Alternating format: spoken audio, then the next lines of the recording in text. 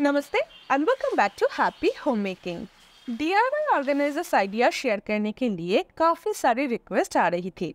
तो लीजिए आ गया वीडियो देखिए, कोई भी D I Y zero cost नहीं होता है। उसमें थोड़ा बहुत पैसे हमें इन्वेस्ट करना पड़ता है। मैं जब भी डीआईवाई वीडियोस बनाती हूँ तो घर में अवेलेबल रिसोर्सेस यूज़ करने की कोशिश करती हूँ। ये सब चीज़ें आजकल नॉर्मली सबके घरों में होते हैं। और अगर घर पर नहीं है तो मार्केट में इजिली अवेलेबल है। इतना सा इन्वेस्ट करके आप जो ऑर्गेनाइजर बनाएँगे, एक तो वो आपके लिए कस्टम मेड होंगे। उसके साइज़ हाइट लेंथ कलर सब आपके पसंद के हिसाब से होंगे। और दूसरा, वो मार्केट में मिलने वाली ऑर्गेनाइजर से डेफिनेटली सस्ते होंगे। ऑर्गेनाइजर अगर अच्छे लगे तो वीडियो को लाइक करना और चैनल को सब्सक्राइब करना बिल्कुल ना भूले। तो चलिए प्लस डी आई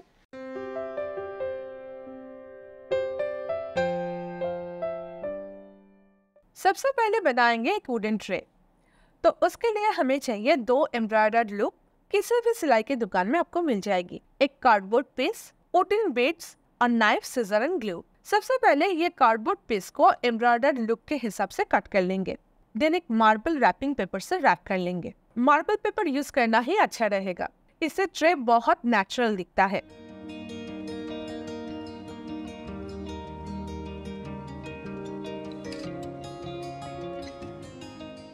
अभी एक एम्ब्रॉयडर लुक को ग्लू गन के हेल्प से बोर्ड के साथ अटैच कर देना है। अब जितना स्ट्रॉन्ग ग्लू यूज़ करेंगे ट्रे उतना ही स्ट्रॉन्ग बनेगा। आप फेवी बॉन्ड यूज़ कर सकते हैं फेवी क्विक यूज़ कर सकते हैं सिलिकॉन ग्लू यूज़ कर सकते हैं। मैं ग्लू गन यूज़ किया क्योंकि ये जल्दी सूख जाते हैं। अभी ये वुडन बेड्स मेरे पास था। एक्चुअली मेरे पास इस तरह का एक कार सीट था, जिसे डिस्कार्ड करने से पहले मैं ये बिट्स निकल कर रखी थी। आपको ये स्टेशनरी शॉप में टू रुपीज़ पर पीस के हिसाब से मिल जाएगा। आपको फिफ्टीन टू ट्वेंटी पीसेस की ज़रूरत होगी। देन ये बिट्स को ग्लू के हेल्प से इस तरह से अटैच करना है। गैप्स आप अपने हिसाब से ज़्यादा कम रख सकते हैं। अभी ये बिट्स के ऊपर जो दूसरा एम्ब्रॉयडर लूप है उसे अटैच करना है और आपका D I Y wooden tray ready हो जाएगा। मैं इसे डाइनिंग टेबल के ऊपर यूज़ करने वाली हूँ। मुझे एक चीज़ समझ में नहीं आ रही है कि आ, मैं इसे ऐसे ही रॉ रखूँ या फिर इसके ऊपर ऊट पॉलिश लगाऊँ। आपका क्या राय है? कमेंट करके ज़रूर बताना।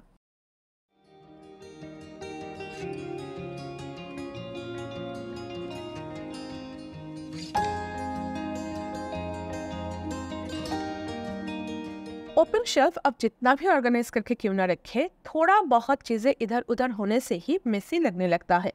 मेनली विजुअल क्लाटर्स क्रिएट होता है। तो ये जो जगह है, इधर मेरा सारे डीआईवाई के सामान रहता है और उसके साथ साथ कुछ रैंडम चीज़ें भी रहता है। ये जगह बहुत जल्द मेसी हो जाता है। तो चलिए, इसके लिए एक ऑर्गेनाइजर बनाते हैं। हम कार्डबोर्ड बॉक्स यूज़ करेंगे और मैं दो डिफरेंट तरीके से ये ऑर्गेनाइजर बनाऊँगी ताकि आपके पास अवेलेबल कार्डबोर्ड के हिसाब से आप इसे तैयार कर सके। तो कार्डबोर्ड बॉक्स की ये जो ओपन साइड्स है, उसका ये दो साइड फ्लैप हम कट कर देंगे। अभी ये दो फ्लैप सेलो टेप से जोड़ देंगे।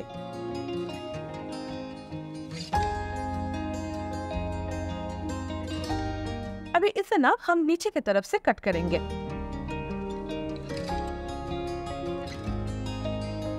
तो ये बॉक्स इस तरह से ओपन हो जाएगा। अभी इसे कोई भी डेकोरेटिव पेपर से रैप कर ले। बस मैं जो पेपर यूज़ कर रही हूँ उसे यूज़ ना करें।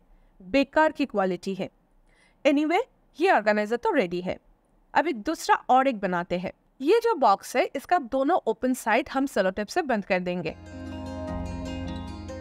अभी जो ये साइड का पोर्शन है इसे नीचे की तरफ़ से कट कर लेना है।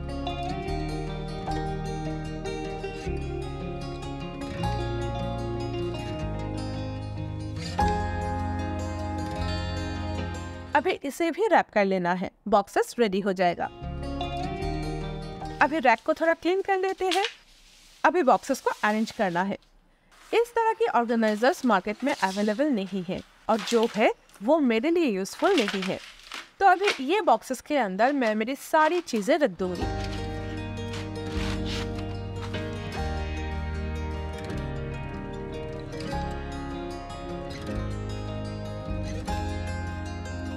ओपन रैक क्लोज हो जाएगा। विजुअल क्लटर्स डिस्टर्ब नहीं करेंगे।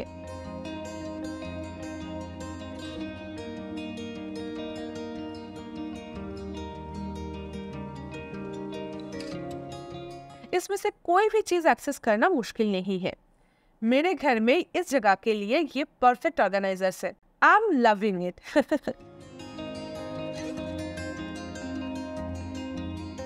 next organiser के लिए हमें ज़रूरत पड़ेगी एक क्लोथ हैंगर की और एक स्मॉल पीस ऑफ़ क्लोथ की। कपड़े को हैंगर के लेंथ के हिसाब से सबसे पहले कट कर लेंगे। अभी चाहिए रिबन आप किसी भी तरह की रस्सी भी यूज़ कर सकते हैं और चाहिए क्लोथ क्लिप्स देखिए क्लिप में ना इस तरह की एक पार्ट रहना ज़रूरी है, जो कि नॉर्मल क्लिप्स में होता भी है।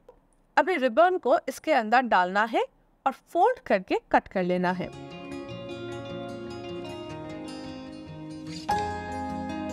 अभी इस रिबन के लेंथ के हिसाब से बाकी सारे रिबन्स हमें कट कर लेना है। जितने क्लिप्स आपके पास है, उतने रिबन चाहिए।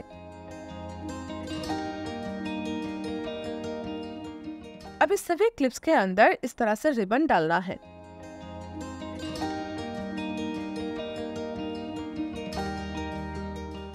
अभी कपड़े को फोल्ड करके उसके साथ क्लिप्स अटैच करना है कुछ इस तरीके से।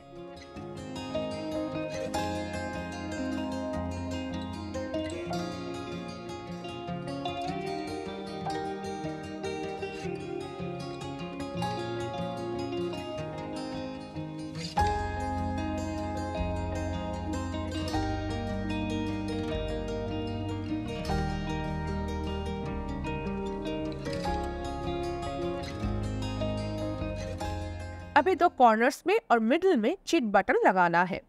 ज़रूरत पड़ने से ज़्यादा भी लगा सकते हैं। अभी इसे कोई सा भी हैंगर के साथ अटैच करें। आपकी हैंगिंग क्लोथ ऑर्गेनाइजर रेडी है।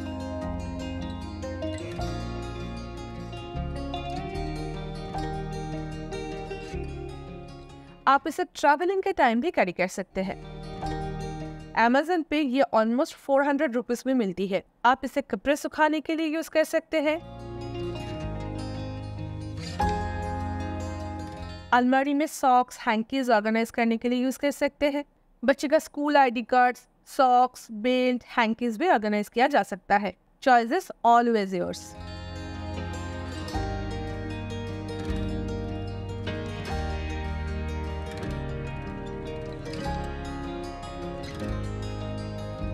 चलिए एक डीआईवाई मार्बल ट्रे बनाते हैं। सारी बॉक्स मिठाई का डब्बा, कुछ भी यूज़ कर सकते हैं। बॉक्स को सिर्फ़ मार्बल वॉलपेपर से रैप करना है। बस, समझो, हो ही गया।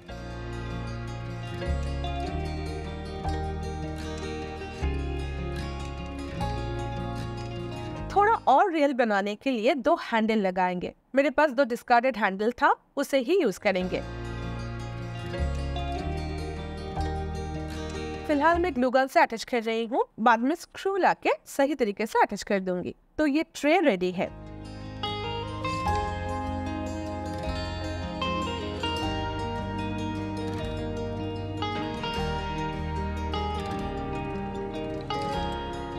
डाइनिंग टेबल के ऊपर इसे यूज़ कर सकते हैं, लिविंग रूम में सेंटर टेबल के ऊपर भी रख सकते हैं।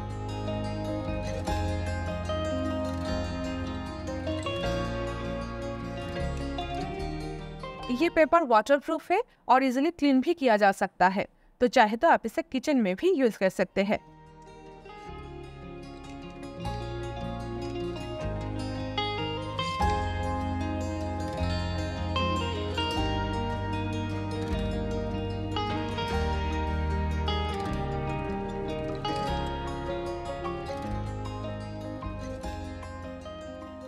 कोई भी सामान जब यूजलेस लगे तो उसे फेंकने से पहले एटलीस्ट एक महीने के लिए उसे घर में रखा करें। इस एक महीने में अगर उसका कोई भी ज़रूरत निकल कर नहीं आया तो उसे फेंक दे। जैसे कि ये प्लास्टिक कंटेनर इसका तो लीड खराब हो गया था। मैं इसे फेंकने वाली थी, लेकिन बाद में इसे मैं रस्सी ऑर्गेनाइज करने के लिए यूज़ कर लिया। इस तरह से सारी रस्सी ऑर्गेनाइज भी हो गया। ज़रूरत पड़ने पर ये ज़मीन मिल भी जाती है और ये प्लास्टिक कंटेनर भी यूज़ हो गया। कभी कभी जुगाड़ ज़्यादा यूज़फुल होता है। आपका क्या ख्याल है?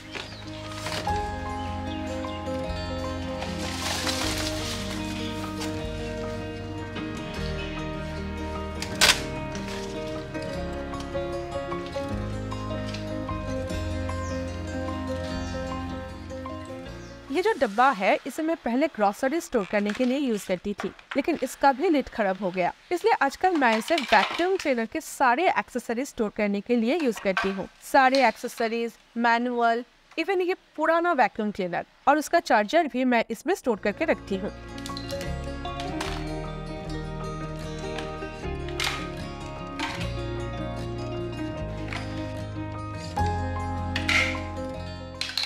ये वैक्यूम क्लीनर के बारे में काफ़ी सवाल आता है कि ये अभी तक काम करता है या नहीं। चलिए एक बार देख लेते हैं।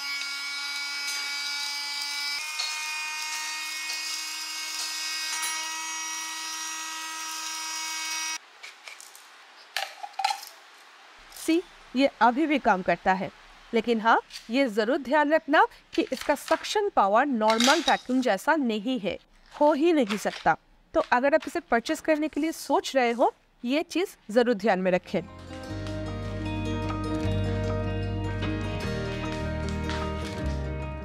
अगर आपके पास इस तरह के डिब्बे हैं तो अपना इजीली इसमें सनग्लास ऑर्गेनाइज करके रख सकते हैं। लेकिन बॉक्स के साथ इसमें सिर्फ़ चार सनग्लास ही आप स्टोर कर पाएँगे। लेकिन अगर आप भी मेरी तरह सनग्लासेस की शौकीन है और आपके पास भी बहुत सारे सनग्लासेस है तो आप ना एक ट्रिक फॉलो कर सकते हैं। ओल्ड सॉक्स ले लें और उसमें सनग्लासेस डाल के बॉक्स में रखें। सनग्लासेस में स्क्रैचेस नहीं आएँगे और स्पेस भी सेव होगा। देखिए, इसमें सिक्स सनग्लासेस रखने के बाद भी काफ़ी सारे स्पेस बचा हुआ है। एक दो बॉक्स ज़रूर हैंडी रखें, ताकि बाहर कैरी करने में परेशानी ना हो।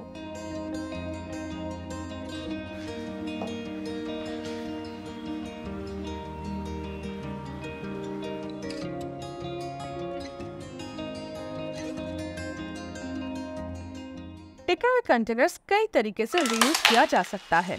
और अगर कंटेनर सेक्शन है तो वो और भी यूजफुल हो जाता है। टिका हुए containers as a jewellery organiser भी यूज़ किया जा सकता है।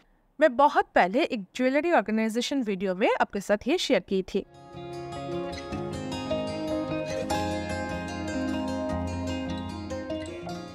एनीवे anyway, घर में फोम या थर्मोकॉल पीस तो ज़रूर होगा। उसे कंटेनर के सेक्शन के हिसाब से कट कर लेना है।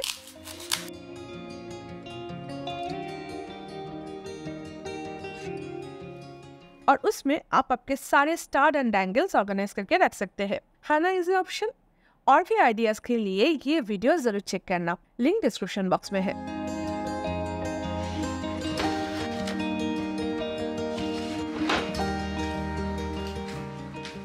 So that's it for today. Video अगर अच्छा लगा है तो please give it a big thumbs up and don't forget to comment and share मैं अमृत, आपसे मिलूँगा एक नए वीडियो के साथ next Sunday Until then, take care. Lots of love from Happy Homemaking. Bye bye.